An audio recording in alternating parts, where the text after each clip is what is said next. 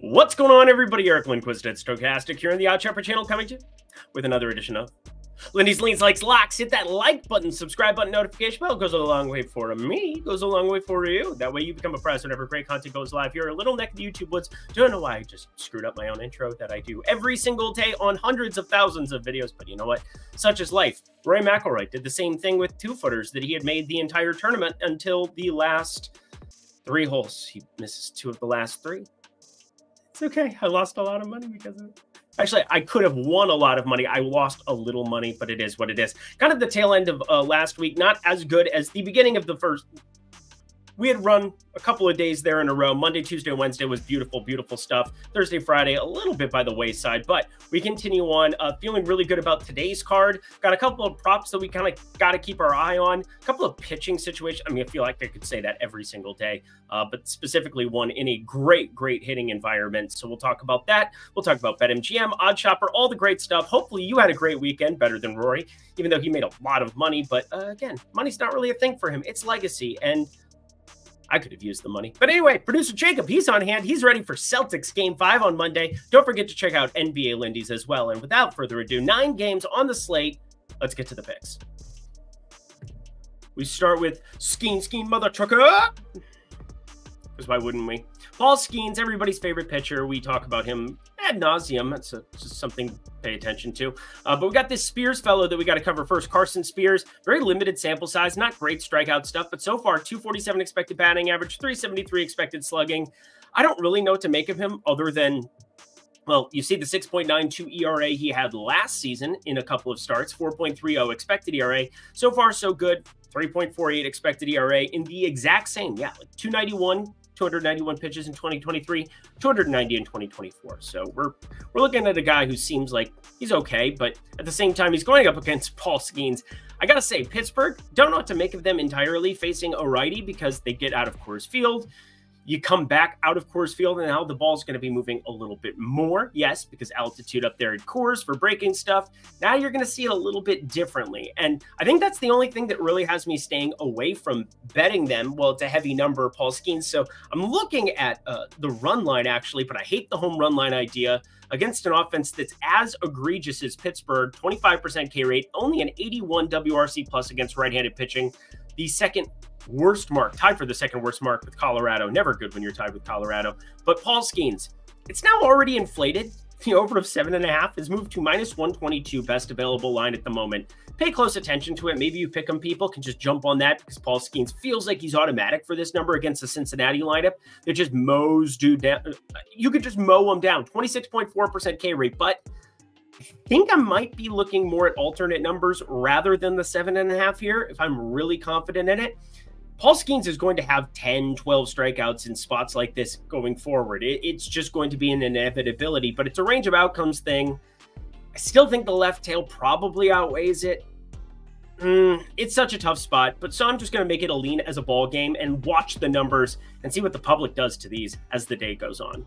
You want to talk the most ridiculous prospective home run play that I'm thinking about? It's actually dose home run play that I'm thinking about here. Randy Vasquez going up against Christopher Sanchez. Let's talk about Sanchez first. We know the ground ball rate with Mr. Southpaw, Christopher Sanchez. That's kind of what you're interested in backing with him at times. Uh, 60.6%. That is way up there in. Uh, It's basically Framber Valdez ter- territory north of 60%. He throws that sinker 48% of the time, then has a changeup moving off of it. Throws a slider occasionally, but uh, it's not my favorite pitch by any means. Uh, looking at it, 26.4% whiff percentage looks great, but then a 308 expected batting average against, and he primarily only throws it to righties, and righties have a field day with it. So uh, hopefully, he can cut that crap out, and that's something that uh, keeps me away from wanting to go crazy backing Philly, even at minus 166, which I feel like is a short number. But they've been better against right-handed pitching than lefties. So Sanchez, I think he's set up to succeed and do all right here. But Randy Vasquez sure is not. Look at the weather; it is so hot. It might be one of those rapper different different segment. But anyway, winds blowing out here. Yeah, we're gonna get some heat nearly like 85 degrees, 90 degrees at first pitch. And we're going to get some wind blowing out. And I got to say, it's not a whole lot better for a lefty than to be facing Randy Vasquez in a spot like this. The guy is a walking pinata. So, Randy Vasquez, uh, what 15.4% K rate, 429 x wOBAcon, only a 38.1% hard hit. But you add in all of these elements, the four seamer changeup. Now he'd be wise to throw changeups only to Kyle Schwarber, who that's the only pitch he kind of struggles against. But everything else, Kyle Schwarber is out of control, and he's breaking my home run model here, considering the weather. Well, the prospective weather. We'll take a look at it here closer to first pitch. But I got a feeling we might be seeing home run numbers inside of plus 200. I don't think I've ever in my entire life of three years have done that. I think like a 12 to 1 type 2 home run play on Kyle Schwarber is actually in play here.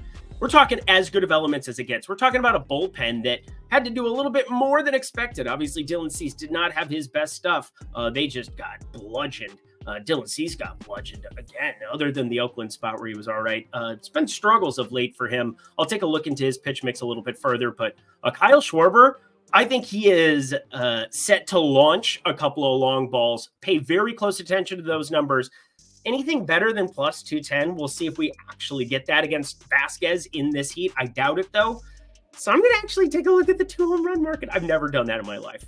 Done this though, I've locked things. I've locked things a lot. This will be our third go around in the third consecutive Sonny Gray start in the lock department. What a time to be alive. But everything just sets up here. This opened at minus 147. I was able to get in it right around the minus 154 number. It's at minus 156 currently. That's why the current odds are over there.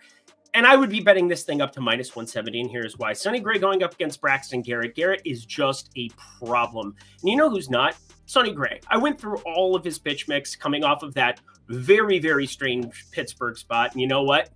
Nothing really stood out to me. I think he is just freaking fine. Again, he just mowed down Pittsburgh. Nine strikeouts in that spot.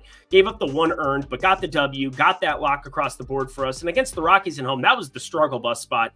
Four and two thirds, five strikeouts, but three earned. Got the L on that one. And yeah, got the L against the Phillies. I, I don't really know what to make of Sonny Gray other than he is awesome at pitching still. So you want to look at small samples or individual games, you could probably pick apart a lot of pitchers. But with him, 3.12 expected ERA, it's perfectly in line with his 3.02 ERA. 33% strikeout rate going up against Miami in a great pitcher's ballpark. Thought about backing him first five, but those numbers are actually a little bit inflated. So I'm willing to what roll the dice. It doesn't even feel like rolling the dice against Mr. Braxton Garrett here, uh, and just go for the entire ball game and and bring the bullpens into this one. Braxton Garrett sitting there with a 49% hard hit, 440 expected slugging, and despite the fact that well, the Cardinals were in a phenomenal spot to hit bombs with the wind blowing out in Wrigley on Sunday. I think they'll be just fine even in a pitcher's ballpark here, considering this is a much better matchup than taking on Jameson Taillon, who's actually been all right this season. So Braxton Garrett, the southpaw, gonna have to deal with some righty power. Obviously, uh, Arenado's power has disappeared. Paul Goldschmidt's still there. He'll get some lefties in this lineup, which will help out a little bit, but at minus 154, minus 156 as it currently stands, fire this one up, friends. My favorite play of the day. I know a lot of you are just going to make it a parlay piece, and it is what it is. But again, I would be betting this up to minus 170. It's the best play on the board currently. Three straight for Sonny Gray. We're one and one. What could possibly go wrong? Nothing can go wrong. Here, friends, OS Premium Tools, Discord, Insider Access. If you want to win long term, yes, if you want to win long term, you want to follow winning players. We're talking winning betters. We're talking people over at OddsShopper, all of the crew that you see here on the YouTube channel day in, day out. Myself, Ben Raza for Ben's Best Bet, uh, Isaiah Sirios. I'm telling you, all of these guys are seriously good. see what I did there? $14.95 weekly, $49.95 monthly. And if you use promo code Lindy, bang, Mike Breen style. Hopefully, we hear that a lot from Jayson Tatum tomorrow. Uh, 20% off. Use code Lindy. Expert Picks, Discord Premium Pools, jumping in for just $12 for your first week. Come in, the water's warm. That's less than $2 a day. Look at me doing fast math. Back to the picks we go. This is on the fringe for me. It is so very much on the fringe. We've talked about some of the improvements for Yusei Kikuchi, uh, but from time to time he'll Kakilia. So it is what it is. But Nick Pivetta, he's like the the perfect example of of hot cold types. Like Nick Pivetta is unbelievable with the strikeout stuff. 29.6% here on the season. Love the ensemble and actually getting a little unlucky. 3.61 expected ERA, 3.88 actual ERA. But we know from time to time the long ball can pop up. But you know what? One, two, three. Only two home runs in his last five starts. That's useful stuff to be seeing from Nick Pivetta, and we're getting them at plus 108. I think Toronto might still take money here, and that's kind of got me hitting the brakes. Now, again, the lean like, that's always kind of this gray area where, hey, rather than just put a lean, I want to let you know this is on the outside looking in. If this gets north of plus 110, I'm going to bet Boston. I, I just am. It's going to be a half unit play for me if I were to get into the plus 120, plus 125 range, which is pretty much impossible here for range of outcome purposes. They won't they won't let you like get both substituted there. It'd be very strange. But I love backing Nick Pivetta here against Yusei Kikuchi. Again, give me coin flips like this, where Kikuchi, 43.2% hard hit, 14.3 degree launch angle. Again, 23.6% K rate. Pretty decent stuff across the board for Kikuchi outside of the hard contact he gives up. And there's just enough righty power starting to show up here in this lineup. Uh, looking at one guy in particular. Hi, Jamie Westbrook. How are you this fine day? Very nice to see you. They like having that guy up there. Boston, lean like, wait for it to move. If it does, fire it up don't fire this up at all. We got Reese Olson, we got Max Fried, and uh, kind of one of those spots where the weather, talked about it before, starting to get a little bit warmer down there in the southeast, specifically Atlanta. Obviously, no Ronald Acuna. We'll get to the Dodgers here after this. I mean, just a ton of bad breaks that they had over the weekend with Yamamoto. And then Mookie Betts today breaking his hand little foreshadowing there. But the wind is blowing in 10 miles per hour, but it's sitting right around 89. Yeah, 89 at first pitch with humidity right around 50% and going up as this ball game progresses throughout the entire evening.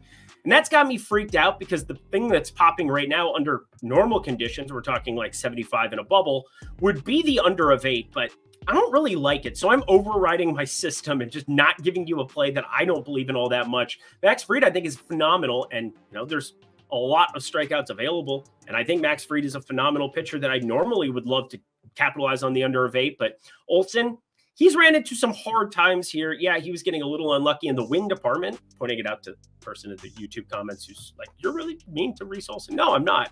Just don't think he's very good. But anyway, under eight, just a lean, dear Lord. it's a dicey spot. Don't even have to override this one. Nothing looks good. David Peterson, Jon Gray. So we're going to kind of move along pretty quickly and save you some time. Jon Gray, he had some strikeout stuff once upon a time. That once upon a time has gone away. Uh, we're talking 24.3% K rate is still good. Don't get me wrong. But against these Mets, I don't think that there's going to be a lot of strikeouts available here. And uh, yeah, cool. I've got EMAC trolling me about Wrigley win. I'm very aware, EMAC, that that game didn't put up runs. I didn't bet the over. I just played a lot of DFS on the over, but whatever. Stop it. It's twice. I hate the Slack message thing. Anybody else have like a work Slack that just inopportune times? It's fine. I didn't have a whole lot to say about this game. Uh, what do we have? Mets money line. That's the best available right now. Lean. I'm not betting the Mets at even money against anybody with Peterson on the mound. Are you kidding me? Sure, congratulations. They just hit up Dylan Cease. was good stuff. Good, good, good stuff, guys. This is really good stuff. BetMGM first bet safety net up to $1,500. If you go to the link below, you deposit $25, $50, $100, and you play for your first bet $25, $50, $100. $500 up to $1,500 on that first bet will come back to you in bonus bets if your first bet loses. That is an awesome opportunity to take a big swing on anything I recommend here, but more than likely, just to increase your expected value, take a big dog on the card, be it in WNBA, be it in the Euro soccer, which I guarantee you Ben Raza is going to have hot fire this week. So jump into that Discord, friends, down below. But specifically here with BetMGM, you want to take a big shot on a big dog because, well, it comes back to you no matter what. So when you take those bigger shots, you have a massive potential payout coming your way. So first bet safety net up to $1,500 at the link below with our friends at BetMGM, only if you're 21 and over. And if you have a gambling problem, please call 1-800-GAMBLER. Back to the picks we go. San Francisco and the Cubbies, and wouldn't you know it, wind's blowing out in Wrigley again. So yes, EMAC, thank you. Friend and colleague over at Stokastic. If you guys aren't watching us for fantasy content, uh, well, I'm just saying something to check out down below as well. A Stokastic YouTube channel, uh, S T O K A S T I C. Look at that, I can spell. Uh, Jordan Hicks, he has been sick. He's had a rumbly in his tumbly. He's still in line to get the ball here in this spot. Now, I like this bet no matter what, but you got to know the rules of your sports book because I would prefer to have a starter that has to go four or five potentially here in a Hicks rather than get a bullpen approach, especially a team like San Francisco that has, you know, Rogers and a couple of other arms in the bullpen where they can kind of play the platoon whenever they want in certain spots. Now, Javier Assad, he's been pretty good, but I repeat, Wind and Wrigley is definitely something that, well, with this current baseball that we have that's not flying as far, I mean, we would see a 10 and a half total here really quick, but 37.4% hard hit is actually decent. Only an 18.7% whiff percentage, which is not decent, but a 23.1% K rate that is decent. I goes back and forth both ways here. Not that San Francisco is some elite offense getting up there to the plate either in this spot, but they at least have enough power that this makes me think targeting solo home runs, targeting some of these other spots. Now, it's not like the books don't know that the wind is blowing out, but based on what we saw Sunday, maybe they try to lure it back in here. I'm not sure what to make of those prop numbers yet. So we're going to sit, wait, and wish that we can get a couple of those in play. But let's just hope that Hicks is your starter here because nine and a half mm, wouldn't look as good with a bullpen situation. Maybe they get somebody from AAA to come in. If you have questions about this one, hit me up on X at Eric Lindquist. But as it stands right now, I know a book, well, FanDuel, where you could bet this and you're definitely going to have it play no matter what. So over nine and a half, fire it up here. I think there are runs in Wrigley coming off of Sundays. Uh, I'll, I'll, call it a dud, flat out dud. 2 1 ball game. Sickly called that, and I didn't bet it. The Dodgers just got bit by the injury bug over the weekend, fractured hand for Mookie Betts. So we're going to see a different lineup configuration coming out for them. And yet we have an 11 and a half total here at open. You know why? Because it is Coors Field. Welcome to Colorado for the Dodgers. Uh, the weather forecast, friends, it is 95 degrees at first pitch with the wind blowing out. I don't know what to tell you. It's like the best possible hitting environment and probably two of the best possible pitchers you could have on the mound. James Paxton, coming off of an actual decent outing at home. Want to break down a little bit of home road splits for you here, shall we? James Paxton at home this season, 1.33 whip, 212 uh, batting average, 2.51 ERA. On the road in his seven starts, 1.48 whip, 261 in batting average, and 5.23 ERA. He is below average in every advanced metrics 13.8% K rate, 12.6% walk rate to go with it. That 352 x but my God, he is breaking my model. And even Colorado, we know how poor of an offense they are. Uh, against righties here, a 94, oh, sorry, against lefties, southpaw like James Paxton, a 94 WRC plus against. It's not so bad. 154 ISO, not so bad. And that adjusts well, not the ISO, but the, the WRC Plus does, adjust for ballpark. So, holy mother of God, are we looking at runs here, even on the Colorado side. And then Cal Quantrill, 17.2% carry, 257 expected batting average. Definitely a lineup decrease having Mookie Betts not in it, but they're going to have Andy Pages maybe move up. They're going to be able to play what Chris Taylor, Cavan Biggio in the platoon. There's going to be runs available. I'm just leaning towards the over of 11 and a half. You can't get a better hitting environment than this one that we are walking into. But the prices are going to be ridiculous on the props. Shohei Ohtani is going to be like plus 150 to hit a home run. That's going to be hilarious to see in the morning. In our last game of the night, Mr. Rodriguez taking on Mr. Jose Soriano. Uh, let's start over on the Soriano side of things. Talked about him quite in detail last time out. Uh, the splitter, looking at the, the the pitch mix that we have from him. Sorry, yeah, the split finger. Uh, that that is has a knuckle curve that he primarily throws the most. It's a really good pitch. 38.3% whiff percentage, 197 batting average against 167 expected batting average. And that's the only reason that this Milwaukee minus one and a half spot is just not getting the trigger pulled on it. Now, I'm more likely to pull the trigger here, I think, than even the Pittsburgh one, which is strange because Paul Skenes much, much better uh, pitcher overall. But I think what the problem is, is that Soriano just isn't getting. I mean, if he's going to be, it's, it's looking like he's still going to throw the sinker a lot to some of these righties. And, well, the knuckle curve he's primarily using up against lefties. And I don't know I still look at the righties as guys that you want to be targeting up against him here. And I ended up breaking down a lot about Jose Soriano. In fact, 25.2% K rate there against righties, yay, but a 166 expected ISO against. And you know who has a 233 expected ISO against? Right-handed pitching is Willie Adames. So uh, we're going to actually be backing at that side of things here. Milwaukee minus one and a half, more inclined to be pulling the trigger on them rather than that Pittsburgh run line. And then Willie Adames wanted to throw in another home run for the people. Uh, trust me, between Wrigley Field and between the Kyle Schwarber spot, between this one, we have a lot of great hitting environments. Probably the best Monday of hitting environments we've had all season long. Can't wait for a lot of 2 1 ball games. That'll be enjoyable but I'm going to have a lot of prop exposure on this card. So ask me questions over on X or in the premium Discord. Can't wait to give you answers.